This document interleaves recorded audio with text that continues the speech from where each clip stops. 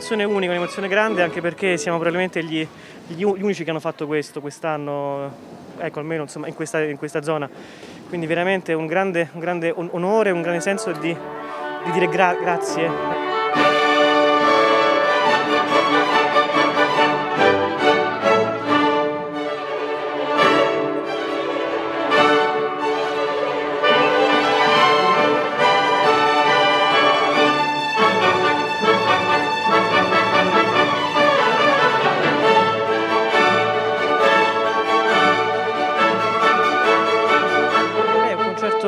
Ha dei brani anche di un certo peso, come insomma, il Vals Triste, brani che, che pongono anche dinanzi a, a, una riflessione sicuramente ed è bello stare finalmente, avere un insomma, afflato con chi sta ecco, insomma, in sala, di non essere solamente in streaming.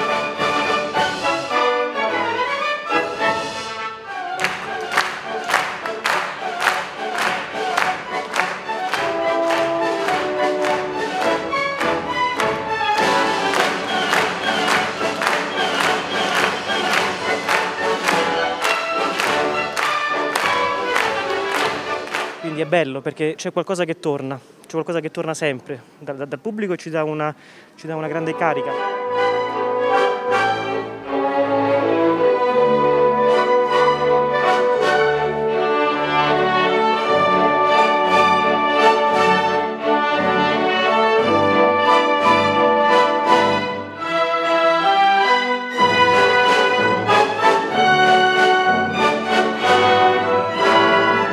Bilancio più che positivo, non potevamo aspettarci di meglio anche perché in questo periodo il Covid sta picchiando duro.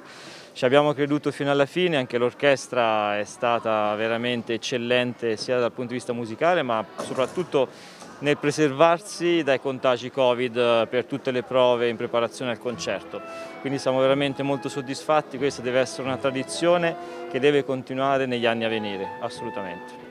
Visto il successo che ha ottenuto questa sua iniziativa, si può dire una cosa, ma lei ha un segreto pensiero, sogno di fare un'orchestra stabile che porti Cortona in tutto il mondo? Assolutamente sì, questo deve essere soltanto l'inizio, è l'inizio, ma eh, l'idea principale è quella di avere una stagione musicale guidata dalla nostra orchestra e farla diventare stabile, magari anche con l'aiuto del Ministero della Cultura, della Regione, proprio perché bisogna incentivare questo tipo di iniziative e soprattutto aiutare i musicisti del nostro territorio finalmente a trovare una collocazione professionale stabile.